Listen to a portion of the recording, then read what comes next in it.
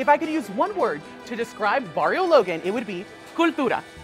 I'm Chef Claudia Sandoval, and welcome to Barrio Logan. Today, I'm gonna give you a sneak peek into some of my favorite places in the area.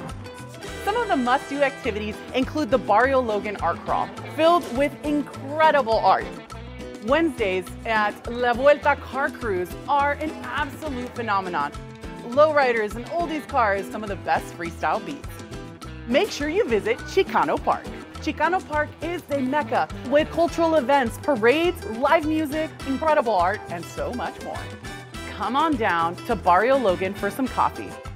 Make sure that you visit one of the many breweries. There's some incredible places to eat in Barrio Logan. The must-visit restaurants are Las Cuatro Milpas, Barrio Dogg, Salud, and Mishmash.